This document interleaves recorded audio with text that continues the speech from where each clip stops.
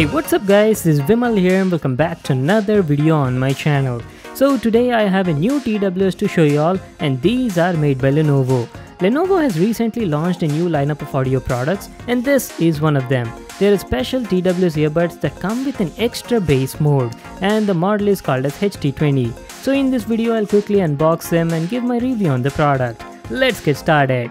The Lenovo HT20 come in this sort of box packaging and has a picture of the TWS on the front. Talking about the highlights, it's got touch control support, has a special extra bass mode and are also sweat and water resistant. Alright then let's unbox and check out the product. Let me grab my knife and cut this out a cover.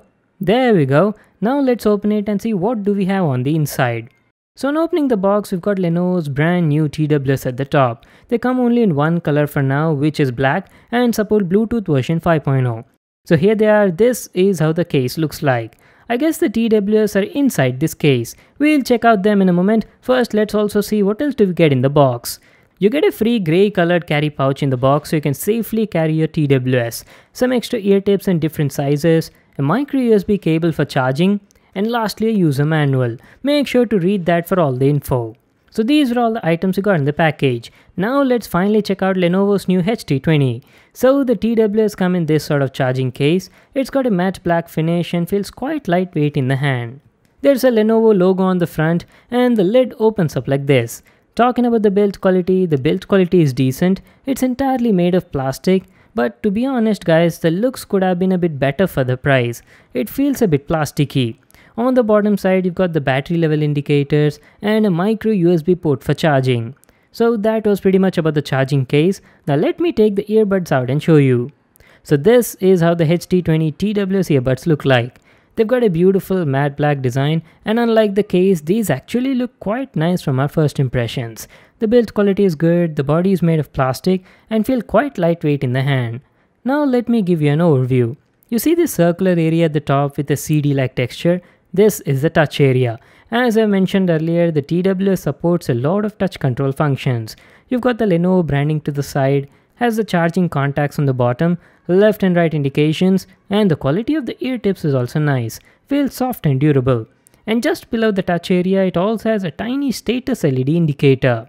So guys, that was our complete overview on the design and the build quality. Now let's talk about the comfort and the sound. The Lenovo HT20 are very lightweight and feel super comfortable to wear for long time usage. The noise isolation was good and they're also IPX5 rated sweat and water resistant. Coming to the sound, the audio quality was pretty good for the price. The mids were crisp and clear with a warm and mellow feel and the vocal clarity was great.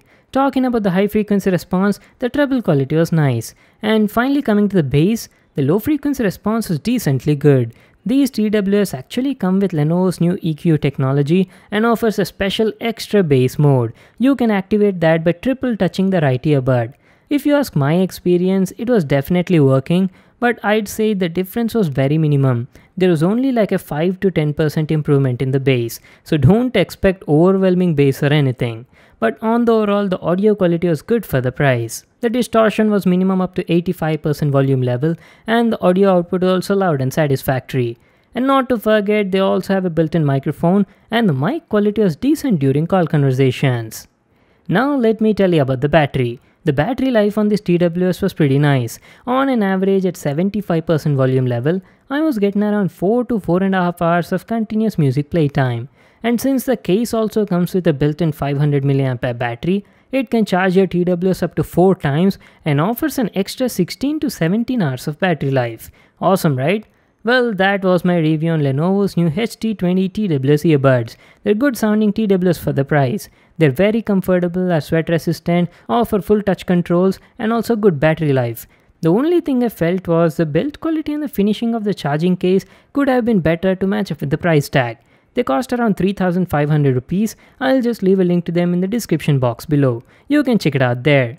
So that's it for today. Hope you all enjoyed the video. Make sure to give it a thumbs up and subscribe to my channel for more new awesome videos. And I'll see you in the next one.